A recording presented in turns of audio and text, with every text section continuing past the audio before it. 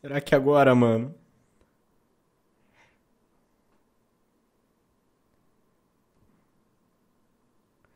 Uou! Olha o Queen Jet, cara! Eita! Caraca! Olha a torre. Mano! Cara da Crystal Dynamics, cara. A gente acertou naquele vídeo que a gente fez. Nossa! Cara, o Homem de Ferro, o Thor. Cara, só falta ter acertado tudo. Viúva Negra, Capitão América, Bruce Banner. Será que vai ter o Gavião Arqueiro? Se tiver o Gavião Arqueiro, acertei o bolão. Não, não tem não. Cara, muito maneiro a roupa do Capitão América. Olha essa armadura do Homem de Ferro, cara. Cara, muito maneiro também o visual do Thor. Lembra muito do Ultimate. Uou! Caramba! Nossa, se o jogo for assim. Cara, que gráfico lindo! Será que eles estão lutando contra a Hydra, cara? Cara, com certeza deve ser. É a Hydra! Aquele tanque ali tava no filme lá do Capitão América. Caramba! Uou! Uou! Uou! Caramba!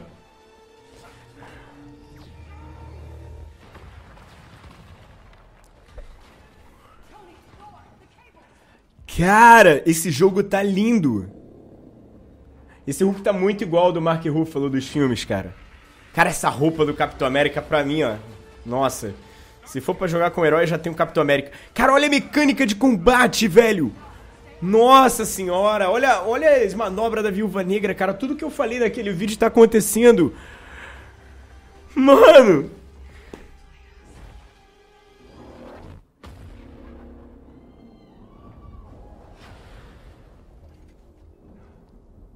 Cara, só falta ser o Kang ou alguma ameaça assim maior do que a Hydra. Tem que ser.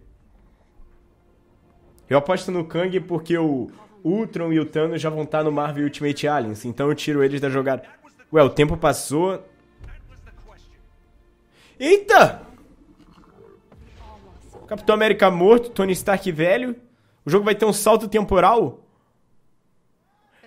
Caraca, o Thor morto também? Não, o Thor tá vivo. Que isso? Que isso que ela tá... Caraca, ó! Mano! Nossa, cara, abominação! Uou! Caraca! E esse jogo agora tem minha atenção. Já tinha antes, mas agora... Nossa, velho. Impressionante. Impressionante. Curti. Curti demais. Please welcome Sean Eskai, Creative Director, Crystal Dynamics, and Bill Roseman, Vice President and Creative Director, Marvel Games.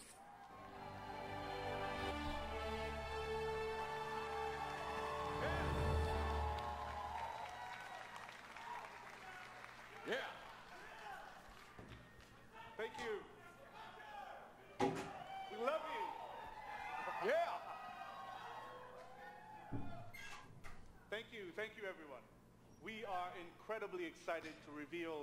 Nós estamos muito animados para mostrar para o mundo o jogo dos Vingadores. Algum tempo atrás, Crystal Dynamics e Marvel começaram a criar uma mecânica para um novo jogo. Um que combine ação, ação épica com uma história incrível.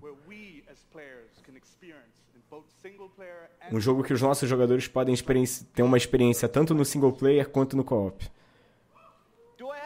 Eu tenho alguns jogadores de verdade, e yeah, alguns sonhadores aí, e yeah, é ótimo, ótimo. E vocês estão no festos a ver o primeiro jogo de super-heróis diferente de tudo.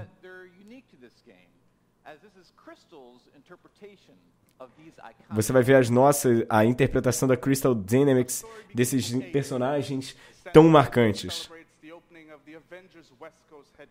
Caraca! Eles vão fazer o quartel também do dos Vingadores da Costa Oeste, vão fazer o L. Carrier.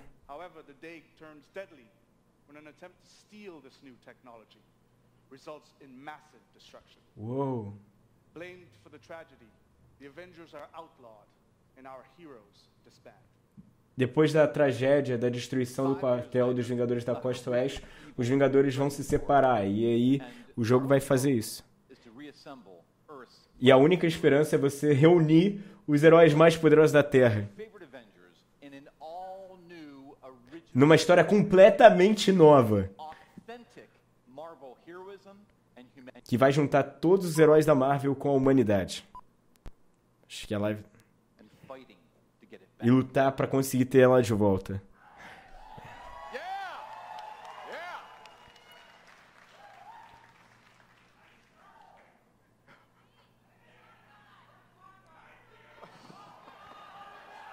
Cadê o Gavião Arqueiro? Most importantly, this is a story about self-acceptance in the face of adversity. About embracing our Esse, essa história é sobre abraçar os nossos poderes individuais. Juntos, são mais, eles são mais poderosos. Cadê o Gavião Arqueiro, cara?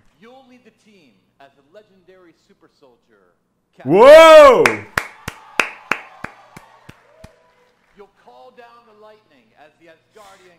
Cara, ficou muito maneiro os visuais. Olha esse Thor, cara. Me lembra muito do Ultimate. Nossa, olha o Hulk, cara. Tá muito parecido com o do filme. and strike swiftly as the ultimate tactical spy, Black. Cara, também tá muito maneiro. Se continuar com aquela mecânica que mostrou ali, rapaz. Agora o Homem de Ferro. Cara, também ficou linda essa armadura. Nossa. Square Enix, você já ganhou meu coração. ó. Pega meu dinheiro. Caraca.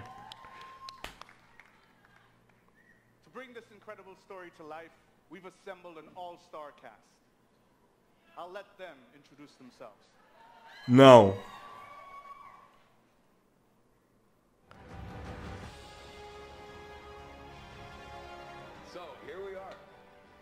Assembled.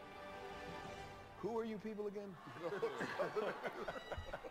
É, eu pensei que ia ser os atores. Eu pensei que o Chris Evans, o Mark Ruffalo. Jeff Shine, and I play Captain America. I'm Travis Fulling. Mas isso é até interessante, porque por muito tempo a gente teve jogos baseados em filmes. A gente teve um jogo do Quarteto Fantástico para o PlayStation 2. A gente teve também o jogo Marvel e Alliance. E também tivemos vários jogos do filmes do Homem-Aranha. O jogo do Incrível Hulk do PS2. Mas os estúdios começaram a ver que ficava muito caro para produzir esses jogos. Eles não tinham retorno tão bom quanto esperado. Isso porque esses jogos eram muito adiantados pela produtora para serem feitos e eles saíam com resultado insatisfatório. E aí por isso que agora eles estão até trazendo um time de dubladores. Então esses caras que vão ser os novos maiores heróis da Terra no jogo. A gente não vai ver o Chris Evans, o Robert Downey Jr. nem o Mark Ruffalo. Eu acho que é uma boa estratégia, porque aí você não tem que pagar uma quantia exorbitante para os atores terem que dublar esses personagens. Imagina só quanto que deve cobrar o Homem de Ferro, Robert Downey Jr., somente para dublar o Homem de Ferro. Então, é uma boa estratégia. Isso pode seguir no futuro para a gente ter outros jogos de super-heróis. Se você parar para pensar no jogo do Homem-Aranha, a gente também teve isso. E no jogo do Batman Arkham, mesmo sendo da DC, eles trouxeram de volta o Kevin Conroy e o Mark Hamill, que ficaram muito famosos pela série animada do Batman de 1990. Então, cara, é, eu achei essa- isso uma boa escolha. Eu gostaria de ter visto os atores? Sim. Eu gostaria de estar vendo aqui todos os Vingadores que a gente conhece dos filmes? Lógico. Mas isso daqui é bom porque você separa e aí você pode criar um próprio universo do jogo. Pelo que deu pra entender, a história vai se basear, vai ter um evento que vai explodir o quartel-general dos Vingadores da Costa Oeste e a partir disso os Vingadores vão se unir para conseguir deter uma nova ameaça. Eles têm que se unir novamente depois de terem se separado. A danger to society. That was the question, Bruce. That was the question. Did you even check the science?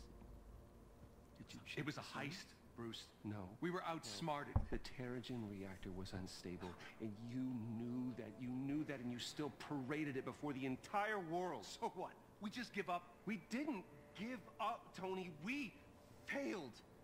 At least I can admit that. No, we failed Interessante. Os Vingadores estão separados, o Bruce Banner culpa o Homem de Ferro por alguma coisa. A gente não deu pra entender por esse teaser. E aí o Homem de Ferro quer conseguir reverter o que ele fez. Não é pra ele, ele quer fazer isso pra honrar a memória do Capitão América, o Steve Rogers. Eu achei isso muito bonito. Cara, tô muito animado pra poder ver isso. Eu gostei da personalidade também do Bruce Banner. Vam- Vamos ver agora o que, que o Scott Amos fala. Vocês acabaram de ver um pouco do nosso cinematic do jogo da campanha do Marvel Avengers. E para o lançamento, vamos ver o jogo. Vamos jogar essa aventura. Estamos há anos para fazer esse jogo para continuar fazendo conteúdo regu- regularmente. Como nos. Vingadores, vocês são mais fortes juntos. Você vai poder jogar com quatro jogadores online com suas habilidades extraordinárias, customizando, crescendo, mudando o poder de seus, seus, seus personagens. Cara! Isso é quase que um DC Universe Online. Tu vai poder customizar o seu personagem e fazer ele a seu bel prazer.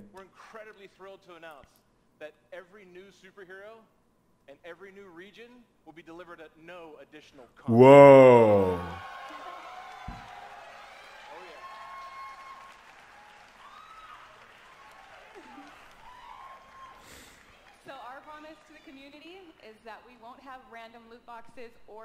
Eles não vão ter loot box, não vão ter jogo.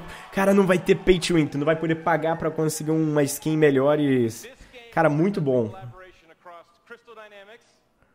Esse jogo vai ser feito produzido pela Crystal Dynamics, Marvel Games. Eu quero agradecer a todo mundo. Pô, maneiro.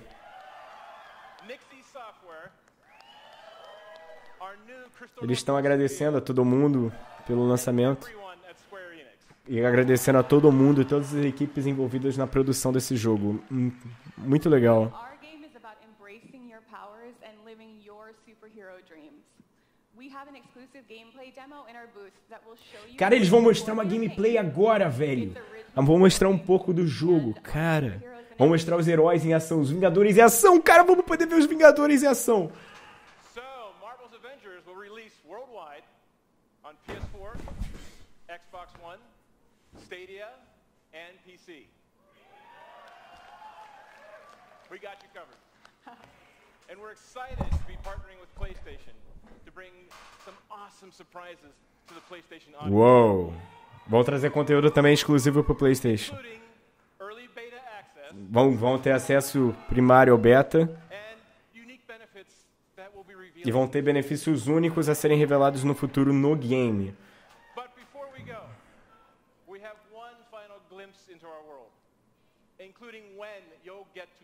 Quando a gente vai poder jogar o jogo? Vai ter o lançamento. O meu, a minha data é dia 15 de maio de 2020. Thank you, true believers. Vamos ver. Vamos ver, cara. É agora que eles vão soltar a gameplay.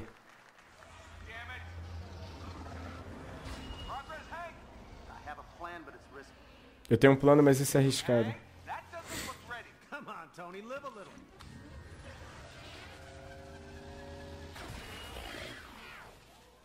Esse cara é Homem-Formiga?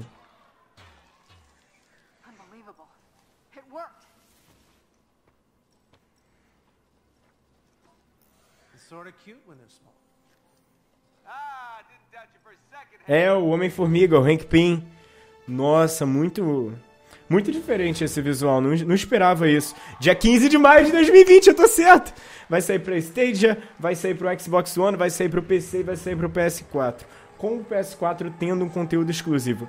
Cara, que anúncio impressionante. Eu tô, eu tô impactado, cara.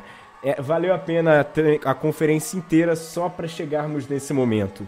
Isso foi o que eu achei. Eu espero que tenha ficado um vídeo muito legal e você tenha curtido bastante. Se você gostou, não esquece de deixar o like aqui embaixo e de se inscrever no canal, porque isso ajuda demais o nosso conteúdo. Para mais vídeos, se inscreve também e se torne você também um herói de hoje. Temos vídeo toda semana, onde sempre estamos tentando trazer alguma novidade sobre esse mundo nerd. Um forte abraço e um duplo H para você. Esse cara Plash!